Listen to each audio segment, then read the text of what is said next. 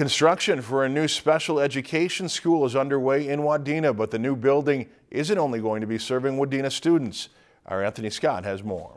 Tucked away in a corner off Route 71 in Wadena is a construction crew laying the groundwork for a new special education building. The new building is part of the Freshwater Education District, a special education co op in the Wadena area, and it will serve the level 4 students. There are different levels of special education, and level four, it's been determined that they need to be completely separate from the general education population.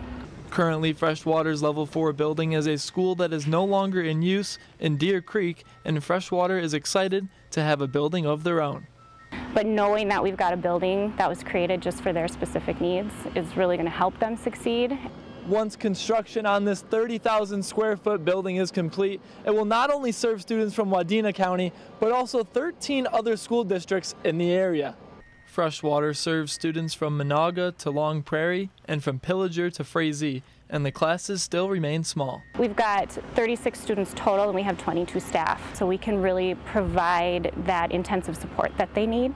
It's a multi-million dollar project financially headed by Sourcewell, who committed $5 million to the project. One of our main tasks is to help our school districts in general and, and absolutely our special education districts as well in investing in great ideas, great initiatives they have, because as I mentioned, that spills over into quality of life in our region and also uh, training and retaining the best workforce that we can. The new building will have several amenities to fit the children's sensory needs. We have dimming lights as well as um, horizontal windows in the classrooms that allow for natural light without the distraction of what's going on outside.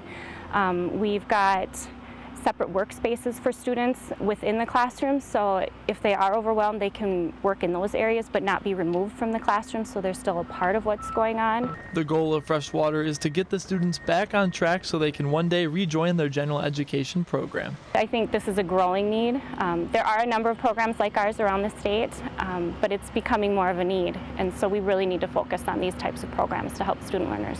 Reporting from Wadena, Anthony Scott, Lakeland News. The new building is scheduled to be ready for students in 2019. If you enjoyed this segment of Lakeland News, please consider making a tax-deductible contribution to Lakeland PBS.